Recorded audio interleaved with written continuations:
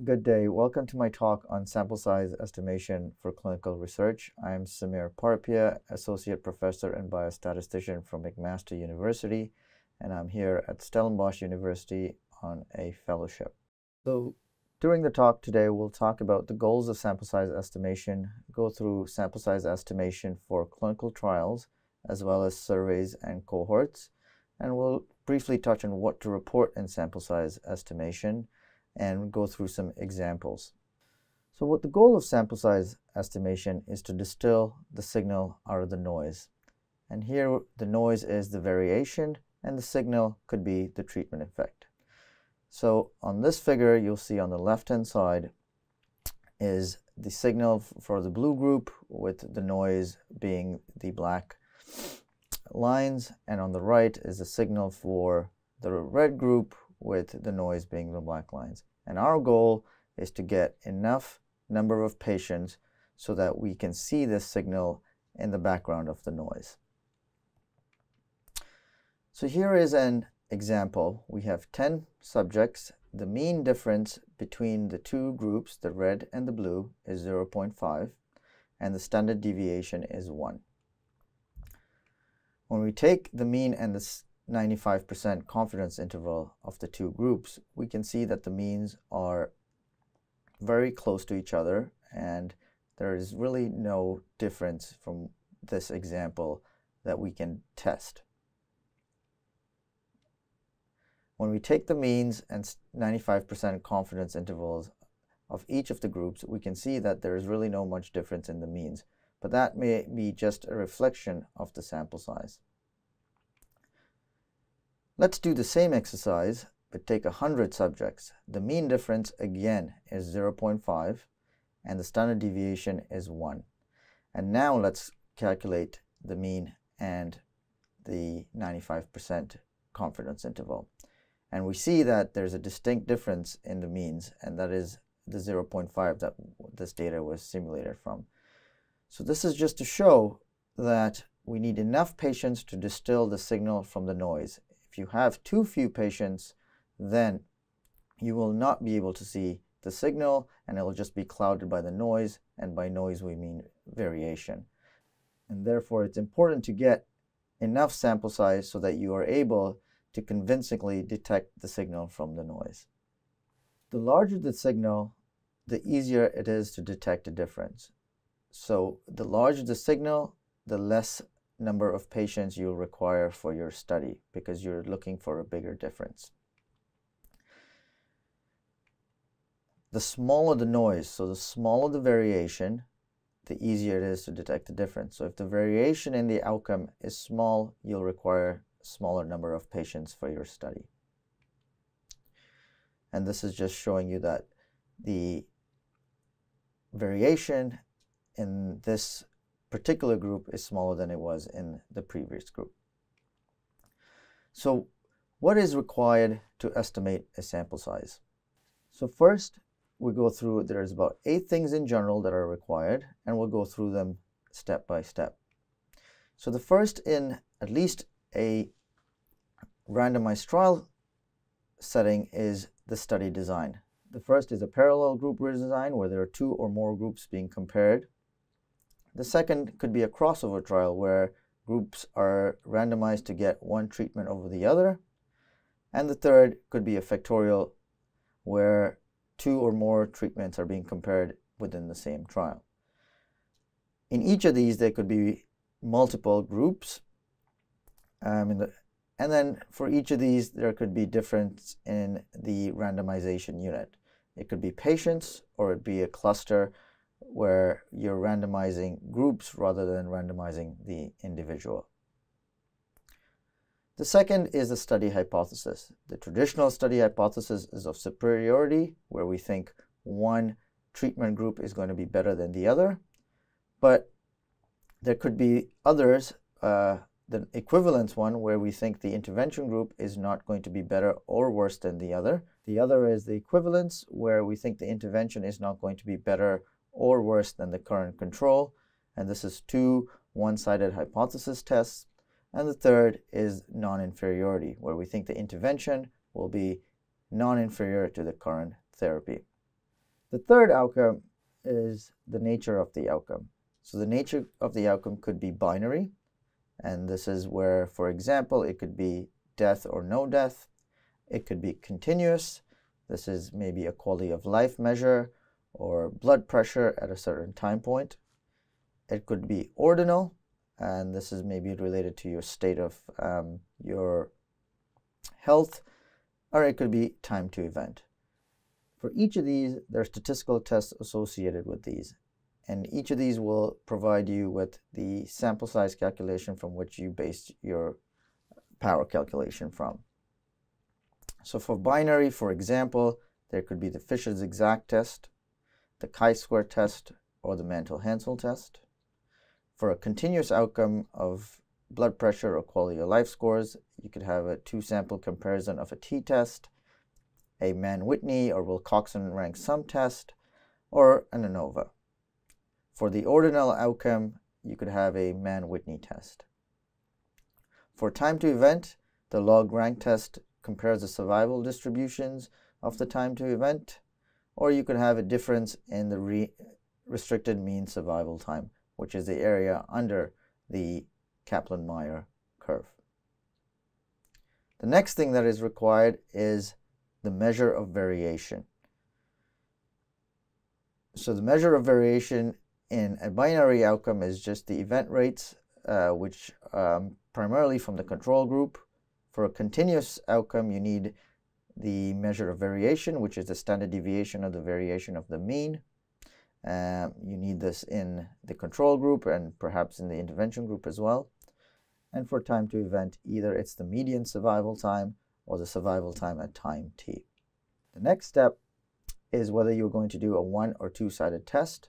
This two-sided test assumes that the null hypothesis is that the groups are equal and the alternative hypothesis is the groups are not equal. In a one-sided test, you're just looking to see that the new intervention is better than the control. One of the more important aspects of sample size estimation is knowing the minimally clinically important difference for superiority trials especially. And for equivalence trials, it's the equivalence limit, meaning where the two treatment groups are shown to be not worse or not better than each other. And for the non-inferiority trial, it's a non-inferior limit where the intervention group can be not worse than the control group by this specific limit. The minimally clinically important difference is a hard measure to estimate. It can be the difference that is required for a change in patients' lives. It can be the difference that is required for a change in current practice, or it could be a difference that what the stakeholders think is important.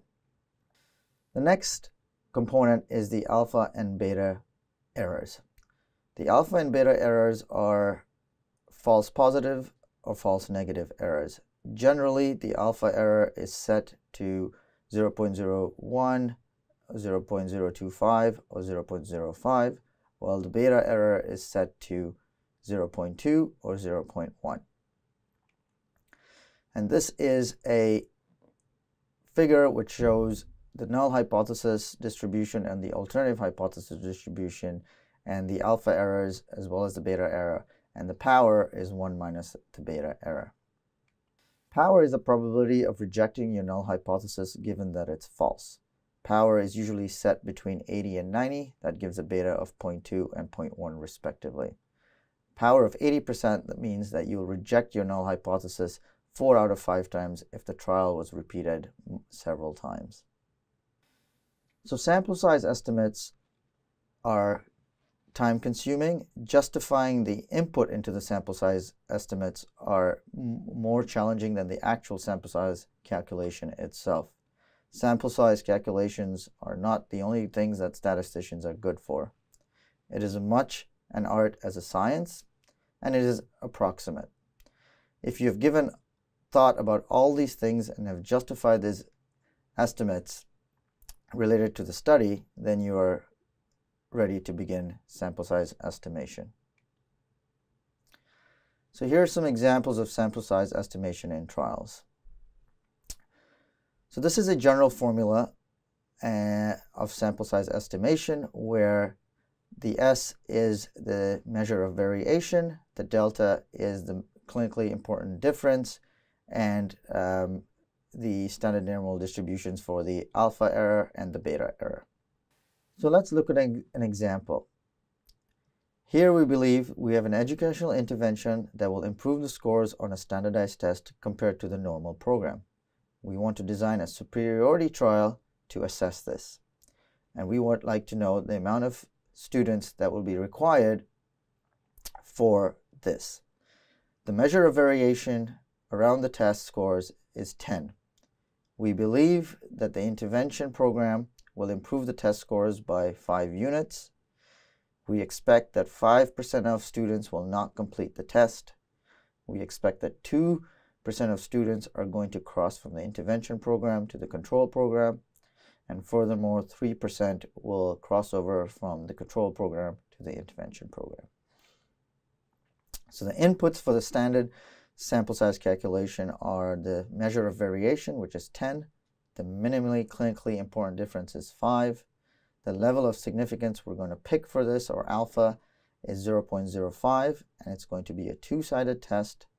We would like 80% power, so the beta is 0.2, and then the loss to follow-up and crossover as previously mentioned. This is a parallel group randomized trial. It is superiority.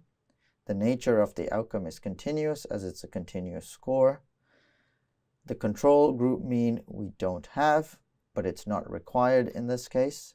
We have a minimally clinically important difference of 5 that we have thought would be good enough so that we can implement the intervention program if the trial does show that it's better. The measure of variation or the standard deviation is 10. We're going to use a t-test to compare the scores, alpha of 0.05 two-sided, and power of 80%. So if we were to plug this into the general formula, we would have 16 times 10 over 5 all square, and that will give us a sample size of 64 per group and a total sample size of 128. So in practice and generally in many trials, we have loss to follow-up. So participants, patients, students will be lost to follow-up or they may drop out of the study. It is good that at the design stage that we increase the sample size to account for this loss to follow-up. For example, if the probability of dropping out is x and your sample size is n, then the sample size accounting for loss to follow-up is n over 1 minus x. So in our example, our total sample size was 128, and we anticipated that 5% would be dropped out so the revised sample size would be 128 divided by 0.95, which is 1 minus 0.05, to give us a total sample size of 136. So here we have inflated the sample size to account for the loss to follow-up in potential students. Similarly, crossover may happen in the trial. It impacts power and it dilutes the treatment effect. So we need to inflate the sample size to account for this crossover. In this case, the sample size is adjusted by a square term of 1 minus the crossover. So for in our example now, after adjusting for loss to follow-up, we have a sample size of 136. Our crossover is 2% one way and 3% the other way. So our revised sample size will take 1 minus 0.02 minus 0.03 take the square of that and then divide it by uh, 136 to get a total of 151. So you can see our initial sample size was 128, but after adjusting for loss to follow-up and crossover, our sample size now is at 151. The current sample size estimation example that I've shown you assumes that the treatment groups are going to be equal in numbers um, and so they're randomized one to one. But there may be cases that this may not be the trial design. In cases where you are trying to encourage recruitment to a intervention, you may want to change the allocation ratio to something that uh, favors the intervention group. In this case, you look at this formula to adjust for that inflation. So for example, in our trial example, we have, it was a one-to-one -one randomization, but now we're going to switch it to a two-to-one randomization where the intervention is given to uh, two to one to the control group. So for example, in our original sample size, the sample size was 64 per group, 128 total. However, now we're going to change the allocation to 2 to 1, so we need to inflate it by the formula, and that formula, when you stick in k equals 2 to it, you get a sample size total of 144, um, and this divided by the 2 to 1 allocation gives you 96 in the experimental group and 48 in the control group. So once you have done the sample size calculation, it is important that you report everything transparently so that individuals who are reading the sample size estimation in a grant or in a publication can hypothesize this. So you need to report the sample size per group, obviously the intervention rate and control group rate and the minimally difference, the measure of variation, and where you got these from. Justify these measures. Report the alpha and the power, the test used to compare to calculate the sample size, the hypothesis for your for your design, the amount of tails, the attrition, which is a loss to follow-up, software and formula that you use to calculate the sample size, and a range of values for different estimates. Always important that you provide a range of values for, for example, for standard deviation and provide power calculations if those estimates varied slightly. So for our example of 128 students originally required, we would report it in such a way so we have shown in the highlighted sections here, in the bolded sections, that we have reported 80% power. The minimally clinically important difference is 5 points. We would include a justification. We have got the measure of variation from 10, and we would include a justification of where we got that from. The alpha level is 0.05, two-sided. We say that the tests were based on a t-test, where the null hypothesis is that there's no difference between the treatment groups. Um, we have said that we assume 5% follow-up, loss to follow-up, and 5% crossover, and therefore we need 151 students to be recruited. And then power calculations were done using a formula or a software, depending on how you did them. And then you would put in a table varying the estimates of standard deviation, for example, and showing the power estimation for that. Just to be conservative, it's always good to take the largest measure of variation as long as the trial is feasible, and that is a conservative approach.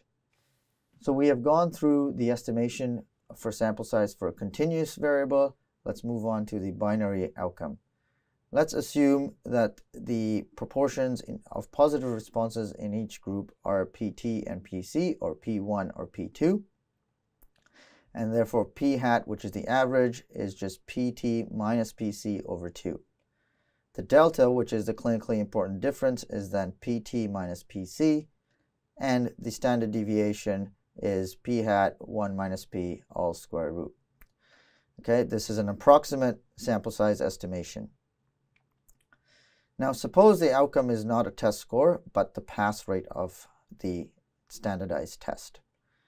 And we're going to estimate that in our intervention group, the pass rate is going to be 80%, and in our control group, it's going to be 70%.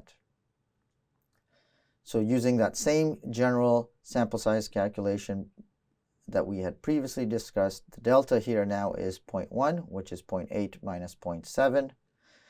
Um, and the standard deviation is now 0.1. If we stick that into the general sample size formula, that's going to be about 16 times 0.919 divided by 0.1 squared, which gives us 298 participants required for this. Now, I've given you a general sample size estimation. If you were to do this using a Fisher's exact test, the sample size would be 313 per group, If you had done it using a Mantel-Haenszel test, um, it would have been 294 per group, given the same alpha, which was 0.05 two-sided, and the same power, which was 80%. So you can see that different statistical tests will give you slightly different sample size estimations for the same parameters put in. And that's fine. So the two examples that we've gone through before are for trials where the individual is being randomized. However, there are cluster randomized trials where we randomize on a group level, but inferences are made on the individual level. The lack of independence among these individuals within the same group makes sample size estimation and trial a bit more complex. There is between cluster dependence and within cluster variation. Now a cluster may be a village, it may be a city, it may be a clinic, it may be a classroom, or it just may be a physician's clinic. So examples of within cluster dependence. Individuals within a cluster may frequently interact and therefore their responses to a particular outcome may be similar and that brings up correlation. This may be classrooms or entire schools or communities. Individuals frequently select clusters or groups to which they belong. Patients' characteristics may be related to a medical practice and may be related to physician characteristics. Important covariates at the cluster level may affect individuals within a cluster in the same manner. For example, temperature in nursing nurseries uh, may be related to infection rates within those nurseries. So the correlation basically reduces the effective sample size. If you think of it in a randomized trial, each patient or participant is providing independent information. Here, in a cluster randomized trial, it is not independent, it's correlated, and therefore you need to inflate the sample size to, to adjust for that correlation. The higher the correlation within clusters, the larger the sample size that is required. Correlation is usually estimated using the interclass correlation coefficient, and therefore the sample size must take that into account. Secondly, it must account the number of clusters, whatever that may be, whether it's classrooms or villages or hospitals, and it must incorporate the cluster size. The intraclass correlation coefficient captures the essence of clustering. It is a proportion of the between divided by the between plus within variation. If the within variation is 0, there is no variation in outcomes, and the ICC is 1. If the between variation is 0, groups are similar, and the ICC is 0. How does one estimate the ICC? It can be from literature, it can be a range of estimates, in general, and there's exceptions to this, the ICC for human studies is generally less than 0.05. The number of clusters in a trial can be fixed. For example, if you're looking at cities in a specific province like Ontario, it can be determined based on feasibility.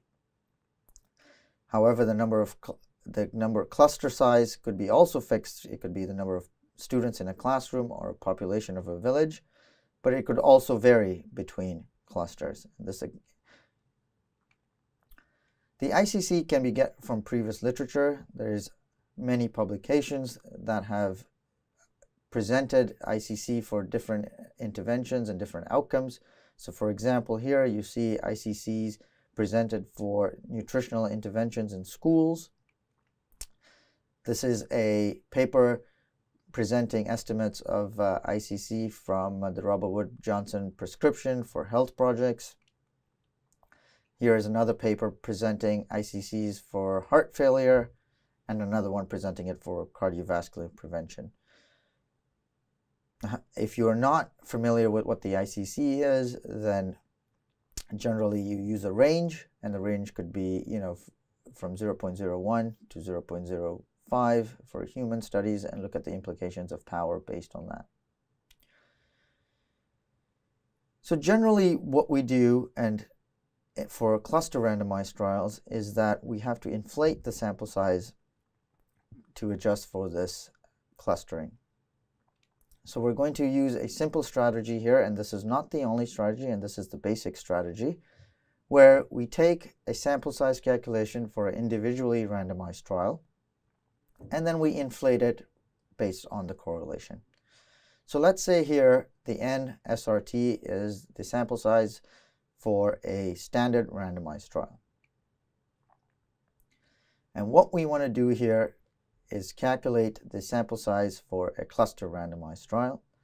And basically, we calculate the number of clusters with average size m, so the patients or students in the cluster are average size is m.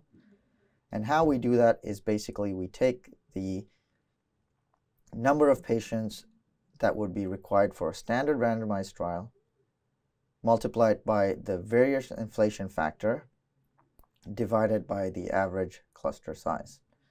Now the variation inflation factor is given by the formula of 1 plus all brackets the average cluster size minus 1 multiplied by the ICC. And this takes into account the clustering. So once you multiply this by the standard uh, number, you get the number of patients required for a cluster randomized trial. So this is a simplification of the formula where the right side of the formula shows that the sample size for the cluster randomized trial is the sample size for a standard randomized trial multiplied by the various inflation factor. So let's look at an example here, and this was not a uh, cluster randomized trial, but we're going to use it as an example, and it was a large factorial trial of warfarin versus aspirin in preventing disease. So let's consider that the outcome here is cholesterol levels of patients within uh, physician practices. Each, the average physician practice size was 50 patients. So we have this information from other sources that the variation within was 1.2 and the variation between was 0.046. So we can calculate a ICC based on the formula, giving it an ICC of 0.036. And now one may think that this is very small. We'll come to show you that it has quite a big impact. So for our standard randomized trial, now we are going to use um, the significance or alpha level of 0.05 two-sided, but power of 90% and therefore this number jumps from 16 to 21 and then it's a similar formula that you've seen before where we multiplied by the variation divided by the clinically important difference. So we see the ICC as before is 0.036. The average cluster size is 50 patients and therefore our variation inflation factor based on our formula is now 1.16. Now let's assume that we're going, our minimally clinically important difference is 0.1 units. Our standard RCT would therefore with 90% power will give us a sample size of 2,700 patients per arm. Now to get a sample size for a cluster design, we would take that 2,700 patients, multiply it by the variation inflation factor to get a sample size of 3,180 patients.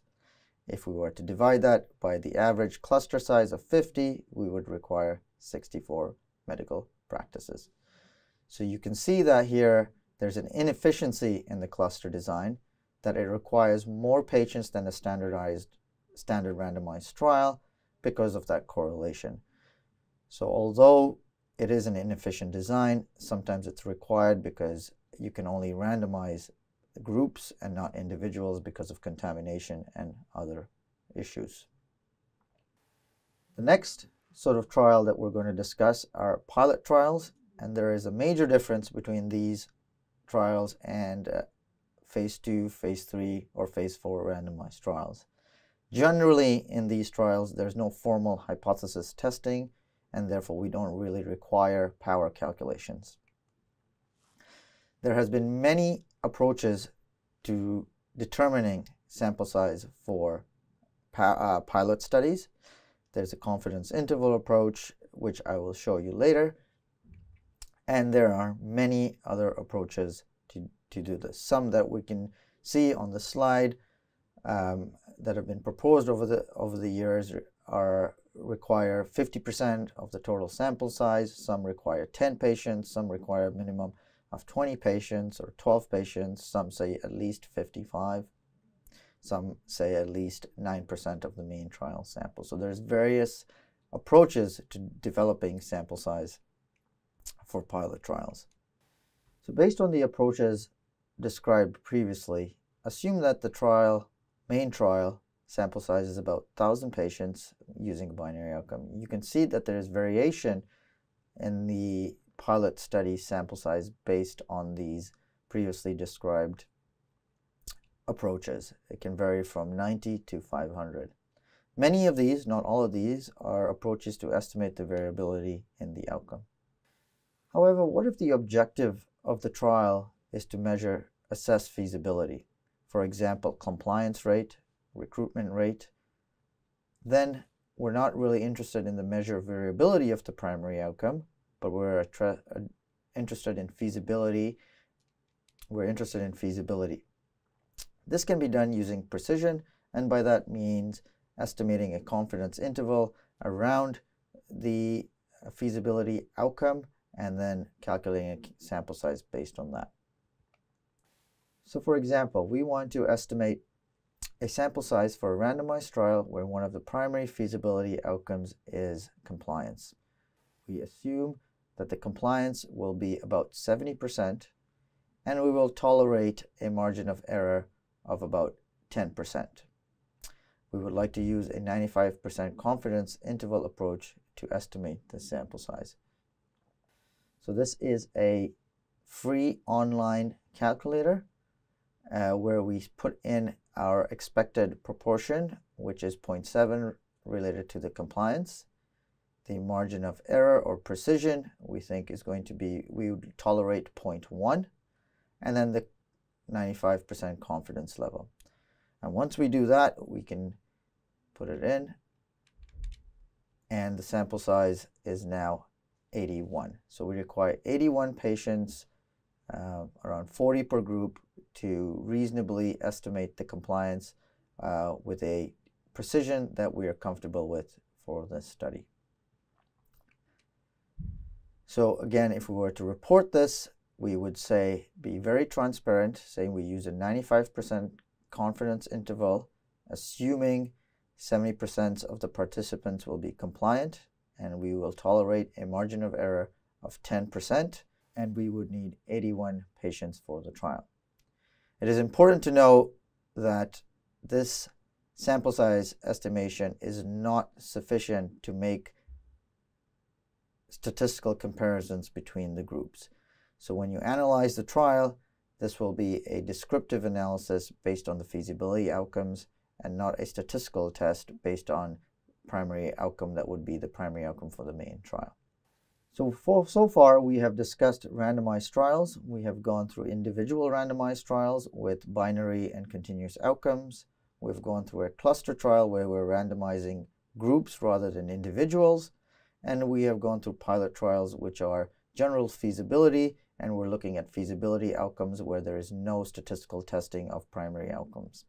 Now we're going to briefly talk about surveys and estimation of sample size for surveys. So sample size estimation for surveys depends on the aim of the study, obviously the resources and feasibility of conducting the study, as well as the statistical quality of the study. If a statistical analysis is going to be performed, then it's important that you have a sample size estimation and justification for the survey. So the outcome measure, it can be a proportion, for example, people with asthma, it can be a, a mean it can be the average population height. It can be an average quality of life of the population. We're going to use the same sort of process that we use for pilot studies to estimate the sample size for this. And that uses a precision approach that we have described, but we will go through it again. So again, you need a margin of error. In other words, what is the maximum error between the true difference and your own estimate? The confidence limit level. Here we generally pick 95%. but it can be 90% if that's what we choose.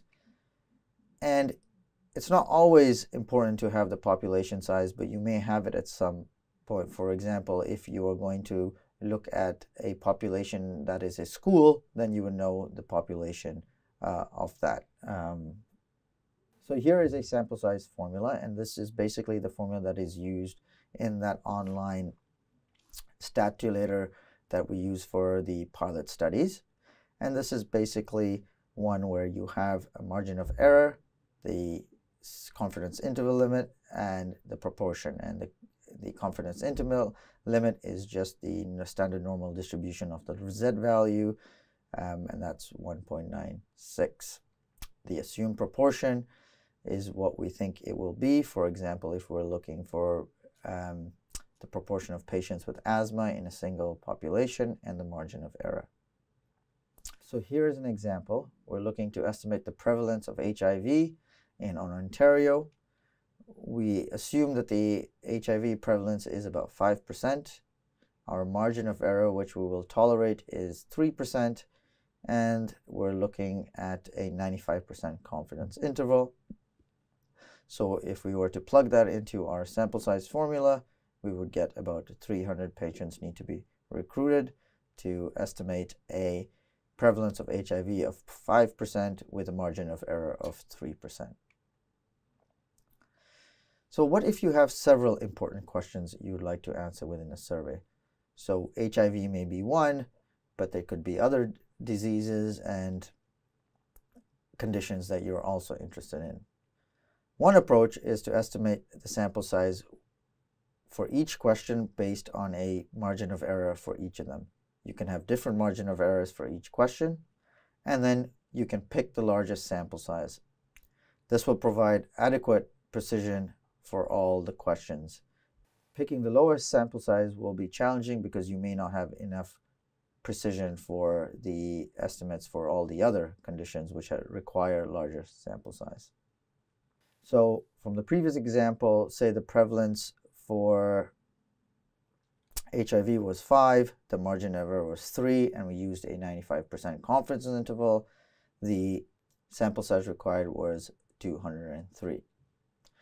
However, now assume that there's another condition where the prevalence is about 15% and we require the same margin of error of 3% and we're going to use a 95% confidence interval. If we plug that into the previous formula, we will see that the sample size for this condition um, with the tolerance that we have described is 545 patients. So if you're going to do a study looking at these two combined, one would pick 545 because it would provide adequate precision for the second condition as well as the HIV. So now we move on to sample size for cohort studies. There are a few options to do this. One is to use the precision approach around a single proportion, which we have described um, for prevalence of uh, binary outcomes in surveys. And we have also described this as in the pilot studies using um, compliance as an example. The second approach is to use a power approach to detect a difference of effect between exposure and non-exposure. That can be a that can be an effect using a risk difference, a relative risk, or an odds ratio. Or you could use a precision approach around the me these measured effects. The decision should be made around the aim of the study. So for, for a cohort study, one can look at this two by two table, which shows the cases and non-cases and exposed as non-exposed. In general, you'd like to know the proportion of exposed that are cases and the proportion of non-exposed that are cases to give you an estimate of sample size. You can then base it on formula that are similar to RCTs. However, in cohort studies, there could be a difference in the number of patients exposed versus non-exposed, and this will affect the sample size. As we had so seen in the sample size calculation for RCTs, if there is imbalance in the exposed versus non-exposed, this will require more patients. So just to recap, You can do this based on estimation, precision, which is a 95% confidence interval around a single proportion, for example, just the cases in the exposed group, or you can do it for a effect between the exposed and the non-exposed, and this effect can be risk difference, relative risk, or odds ratio. And for each of those, you could either base it on a power approach where you estimate the sample size based on 80% power, for example, and a two-sided um, alpha of 0.05, or you could also base it on a precision around those effects. So in summary, sample size estimation should be based on the research question and the study design. Sample size estimation formula are the easy part of sample size calculations. The challenging and more difficult part is inputs and justification of the parameters that go into the formula. It is always important to vary these estimates to get a sense of whether power will be maintained given different assumptions of variation or treatment effects. And it's always important to involve a biostatistician early in the process to help you with this. Thank you very much for listening to this talk on sample size estimation. I hope you found it useful.